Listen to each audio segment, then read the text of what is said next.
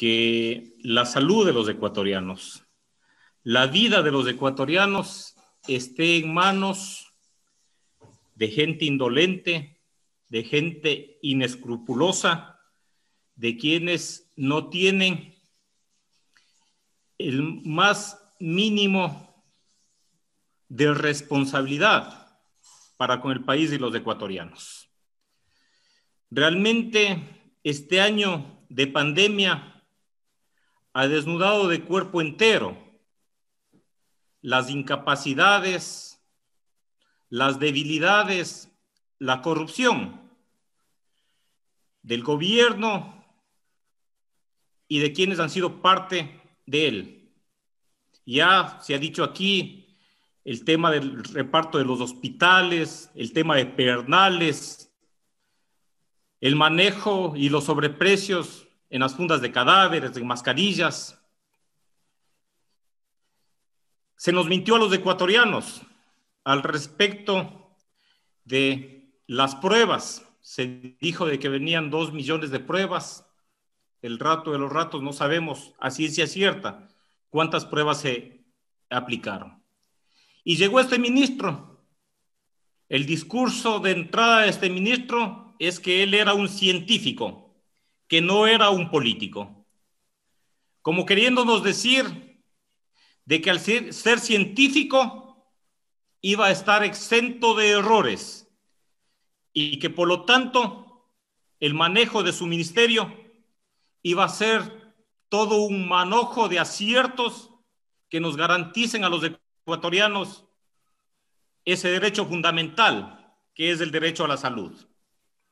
Pero desde el inicio empezó culpando a los otros, diciendo que son otros los que se equivocan.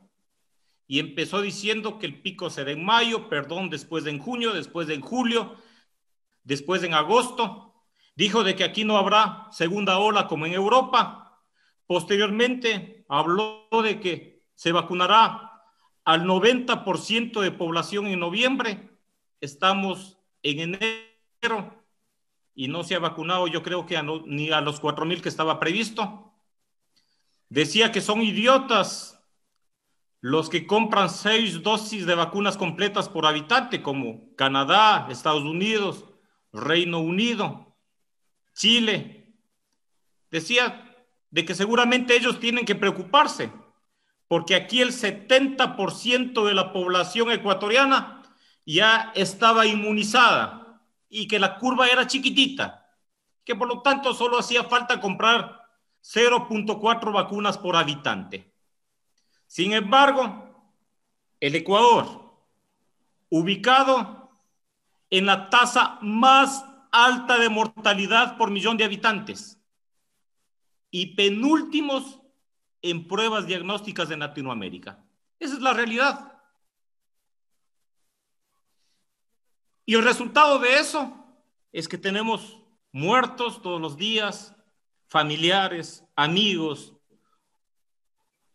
Hoy mismo, en mi provincia, siguen falleciendo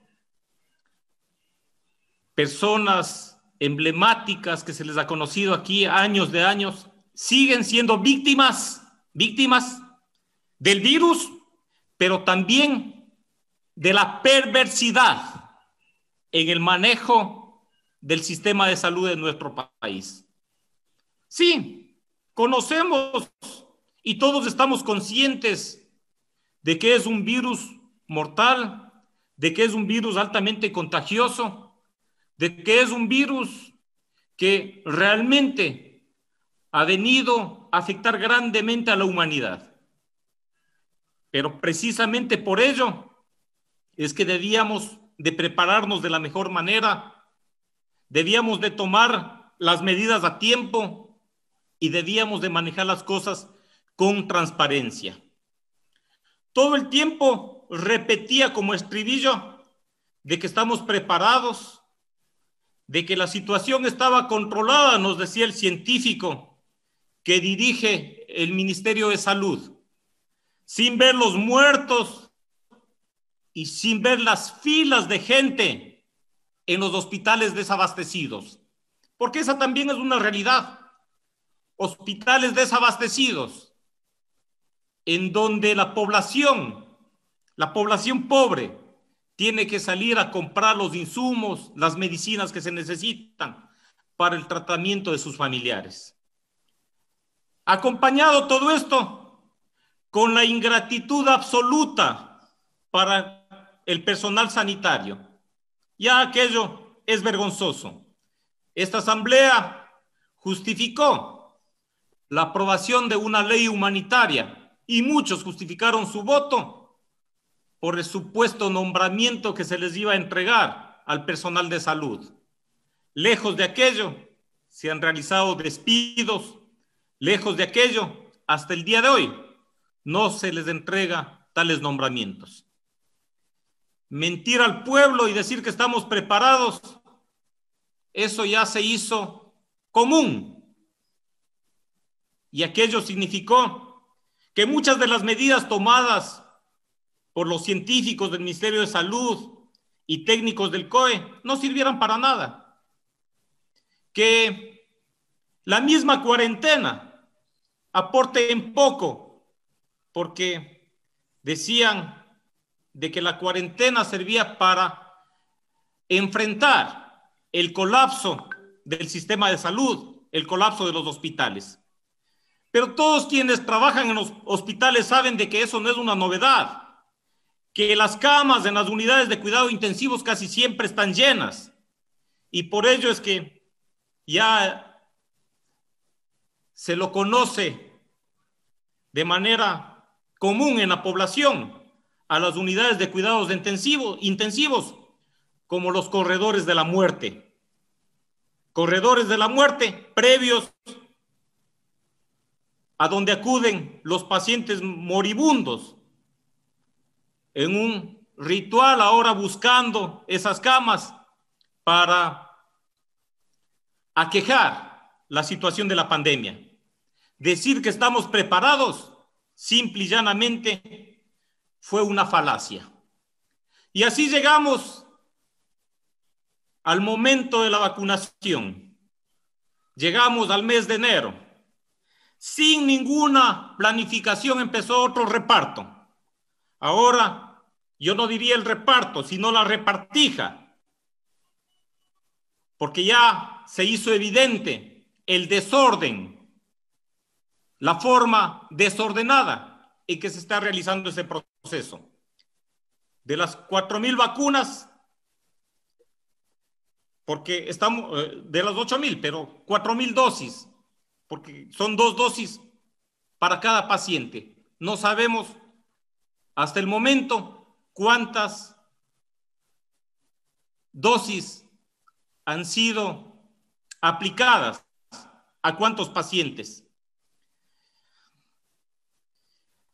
Resultó apoteósico en el aeropuerto que en medio de una gran algarabía frente a la prensa, frente a las cámaras de televisión, con un ministro de salud militante, rebosante, de soberbia, con el puño en alto, presidía el operativo para recibir las cuatro mil dosis de vacunas, con el apoyo operativo de las fuerzas especiales, del GOE, el GON, el HUMO, por poco estuvo la FAE, faltó la Marina, para recibir esas dosis de vacunas. Armados hasta los dientes, decenas y decenas de burócratas junto con la vicepresidenta de la República, llegaron al fin esas dosis de vacunas para cuatro mil afortunados ecuatorianos. En Guayaquil ni siquiera el aguacero los pudo detener. El contenedor era tan enorme que se necesitaba todo ese operativo para recibir las vacunas. Los discursos, ni se diga, épicos.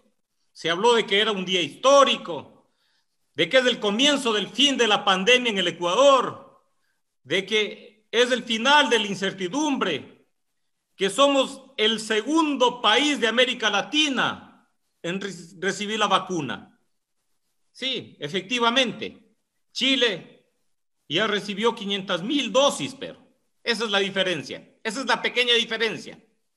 Se dijo de que vamos a empezar a vacunar al personal de primera línea en las ciudades de Quito, Guayaquil, Cuenca y la provincia de Azogues. Y la provincia de Azogues, dijo el ministro, que una vez más, porque no es la primera vez, demuestra de que el científico no conoce ni siquiera de geografía política. La realidad lamentablemente no coincide con las palabras, porque la falta de liderazgo, de formación,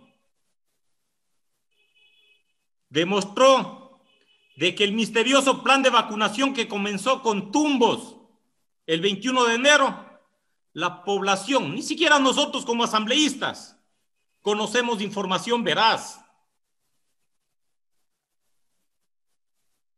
Para tener confianza debe de existir transparencia, transparencia absoluta. Deben de existir datos, evidencia para cumplir con lo ofertado. Se ha dicho de que se van a vacunar a 116 mil personas por día y que se va a alcanzar al 70% de la población.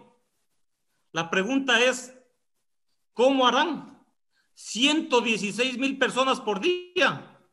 Si con las 4 mil dosis completas no han podido, si con las 4 mil personas no han podido, si con las 4 mil personas han demostrado falta de, de transparencia e incompetencia, ¿cómo cumplirán lo que están diciendo?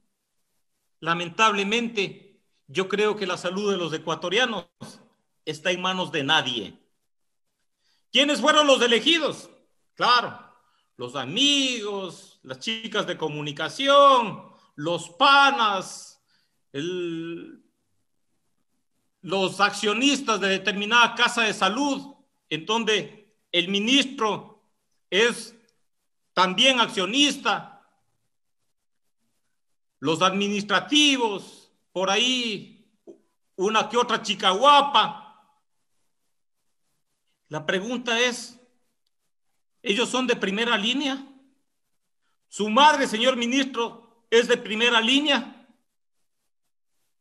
Cuando el presidente de la República dijo de que el Ministerio de, de Salud había establecido que el personal de primera línea para la vacunación sean los médicos, las enfermeras, los auxiliares, los residentes, los fisioterapistas, el personal de apoyo y limpieza en las áreas de atención de los pacientes de COVID, de hospitalización, UCI, emergencia, por favor, vaya concluyendo con su intervención. Viaje eh, respiratorio, etcétera.